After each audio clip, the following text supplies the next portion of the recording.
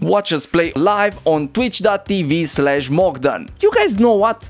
Let me finally show you how you rat explaining the build that you want to use explaining the abilities that you want to use explaining why you want to use them i feel like this is the most important part and explaining why I feel like every single new player should try this. Let me address the elephant in the room. Why did I just say that every single new player should try this? Think about it. In any other type of PvP environment, you're either getting killed or trying as hard as you can to kill people. As a new player, more often than not, you're getting killed. What are you learning out of those kills? You're going there, you're trying to find somebody, maybe you mess up some of your abilities, maybe you don't have the right abilities on, because honestly, you're a new player and you just get killed. And because you're a new player, because you're such a new player, you don't learn anything out of it. Well, what if there would be a way to go into a PvP environment to go and actually have fun in PvP while not risking that much and most importantly while gaining the most knowledge that you can get. It's not knowledge that applies everywhere but at the same time it is knowledge that applies everywhere. Let me explain. Ratting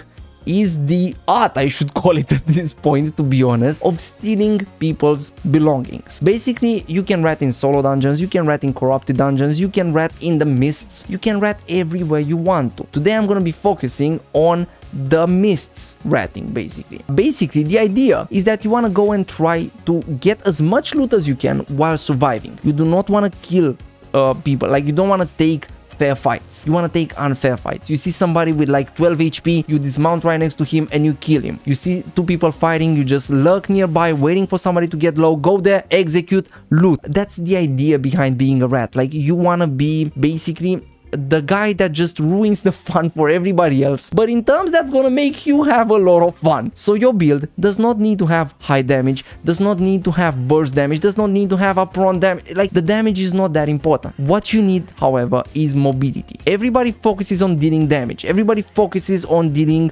range damage of catching people of dismounting people. You need to focus on running away from people. And to run away from people one of the best builds that i had the most success with guys is this one right here. Let me showcase it a little bit. It goes like this. Mage Cowl with the second spell, first passive. Assassin Jacket, third spell, first passive. Then you want to have Soldier Boots. I would say, uh, I've seen a lot of people use uh, Minor Work Boots. I don't like Minor Work Boots personally. They're very strong if you use them right, but if you mess up, you're just dead. Minor Work Boots give you kind of uh, like the top speed that you get from Wanderlust all the way. Like starting till the second you press the ability, for the next 10 seconds or something like that. So it's a, it's a giant speed boost, much better than this, but it also silences you. So if people manage to mount up right next to you or if somebody manages to purge your run or something like that, you are just left there defenseless you cannot even auto attack. Those are also very useful for actually chasing people. If you want to run for somebody, not from somebody, with Wanderlust you can do that. With Minor Work Boots you cannot because the silence works both ways. You cannot defend yourself, but you cannot attack your opponent either. Then you want to have Bloodletter. This is by far the best weapon with the second Q, second W, first passive. And as you start to notice right now, this does not require spec. I think you have the second W straight up. Oh no, you get it at level 3. Okay, you need to farm till level 3, guys. That's, uh, I hope that's not too much of a hassle. Then you want to have the Mistcaller or Torch if you want to go cheaper, but this is cheap enough in my opinion. You want to have a normal cape. Then you want to have Poison Potions, and if you want to go a little bit more expensive, you could also bring some invis pots in your inventory. You want to have Cabbage Soup in case you find a good mob, and Beef Stew. Now, the idea behind ratting is that you do not want to focus on taking fair fights. Now, what does that mean? That means that, let's say, if you see a player and he's full HP dismounting right next to you, provoking you, you do not want to take that fight. However, if there's two 8.3 people fighting, you might want to lurk around till somebody gets low, in which case you want to go, execute, bop everybody, loot the corpse, go invisible if you need to, loot the corpse some more, then run. In this situation that I just described right here, usually invis pots are much better, but are also much more expensive. Poison pots are great for catching that 8.3 dude that finally managed to escape even though he has like 10 HP left. Because let's say he used his undead cape, the people that he was fighting lost him, but you, as a fortunate rat, just stumbled upon him. In which case you want to dismount, throw your poison and just go to town on that guy until he mounts up because he is gonna mount up. But that's basically the idea. I would say right now the most useful thing the most useful information that i could give you is explaining when and why and how you want to use your abilities. Let me start with the easiest ones first. The q this is your main spam you use this either to do damage. Let's say you saw somebody with 50% hp you feel like you could take that unfair fight the Q is your main damage source. On the other hand, your Q is also probably one of the main mobilities that you have besides, like after you wasted everything, the Q is what you use to get away. The Q, oh, I guess talking about getting away, talking about getting away. Do you have uh, what you need? You do not. Okay, come on.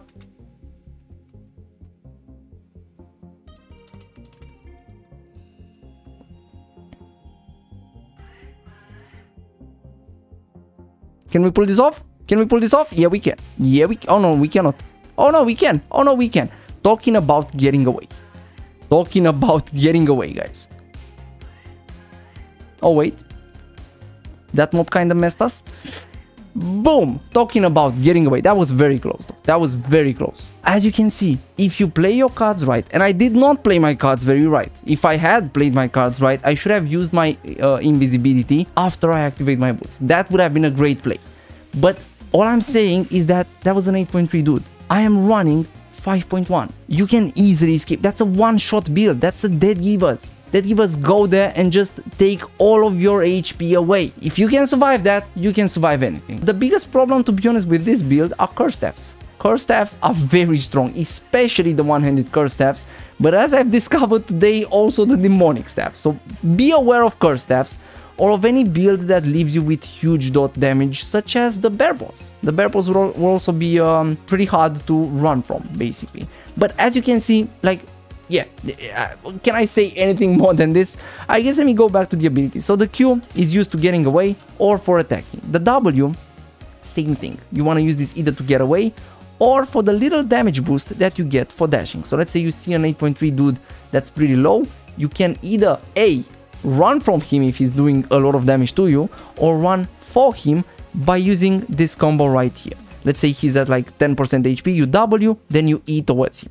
That covers a lot of ground and you also have a boost in damage because you've also used your W. Then you want to have your invisibility. When do you use your invisibility? Well, your invisibility you want to use either when you want to get away like normally or you might want to use your invisibility whenever let's say there's a chest or not a chest a turbulent wisp like one of those wisps that are weakened and you need to rescue you go in you go invisible let's say there's like three seconds left you go invisible on the wisp let's say this you go invisible people cannot target you because most people have single target damage and whenever the wisp is out you just D uh, take it run.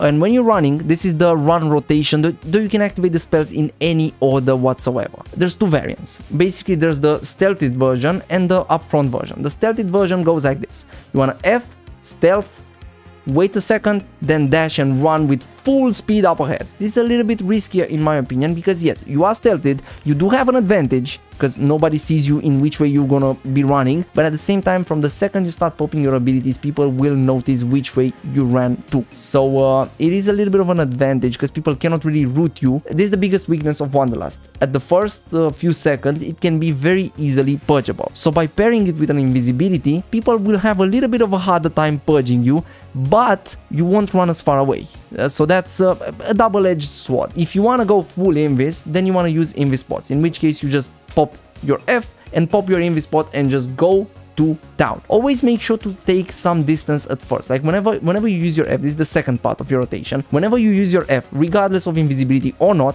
in the first few seconds, you always want to make sure to get as far away from your opponent as possible so they cannot purge you. And you do that by using your W and your E. Yes, you want to use your E in a defensive a kind of a getty away. So you want to make sure that you use your E not only to execute the low uh, HP persons, but also to get away and save your life. Uh, that's basically the whole idea of this build. The Bob I showed you where you want to use. Sometimes, if you want to take a fight, depending on how high IP you go, uh, if it's a melee person, uh, I, I, mean, to be honest, regardless, you should swap to poison in my opinion. And if it's a guy that has a lot of dot damage, you should swap to this. And if you properly want to go full fight mode, you should also swap to this. But at the same time, do not forget, this is not a fair fighting set. It's barely a fighting set actually. It's just a rat set. That's the main purpose of this set. If you want to use it to fight, I would swap so many things. I would swap this with Fiend Cowl. I would swap this with Cleric Robe. I would swap this with Royal Sandals. I would swap this with mm, uh, a Muisak.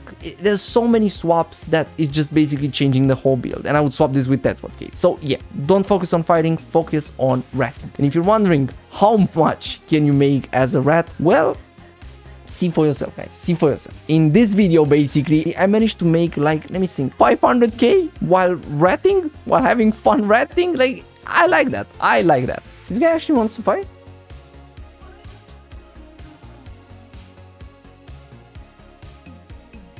I mean, he did use his Wanderlust, to be honest.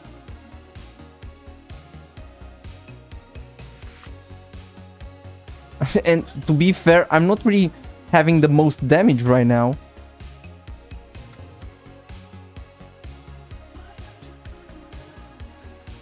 Nice. Nice fight. Oh, 100k. Man, if I knew you had 100k, I would have killed you way before. I want those guys to fight each other. Nice. They fight each other. I dismount. Just like a rat. I wait for it. Just like a rat. And then I kill, kill. Nice, nice, nice. Run, man. Run, man.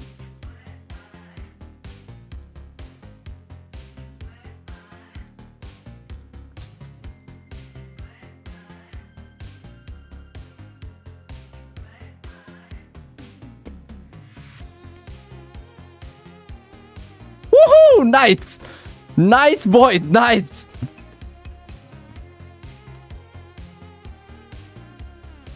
Bopped. Now, get away. Nice, thank you. Thank you for the boost. Let me kill you. What do, you, what do you think you're gonna do here, man? What do you think you're gonna do here, man? Just come here. No, no, just come here. Come on, where are you? Where you at, boy? Where you at? Who you wanna fight? You wanna fight pitched voice mog? You don't wanna fight pitched voice mog. Come here. Get over here. Do you think that's how it's gonna work, my friend? Do you think that's how it's gonna work, my friend?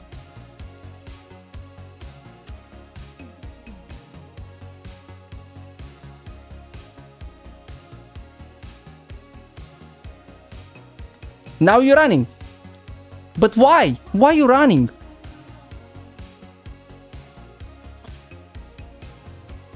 Oh, come on. Nice. Now he's in combat. Come on. He's in combat though. He 12 HP. Look at this dude.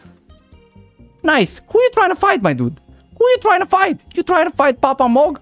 Papa Mog is non-fightable, my friend. Watch us play live on twitch.tv slash Mogdone. This video was made possible by our amazing channel members. If you wanna support by becoming a channel member yourself, you are gonna get access to amazing emotes that you can use in the comment section or during live streams, member-only polls, and lots of other awesome perks. Shout out to all of you awesome badasses. Thank you so much for supporting us.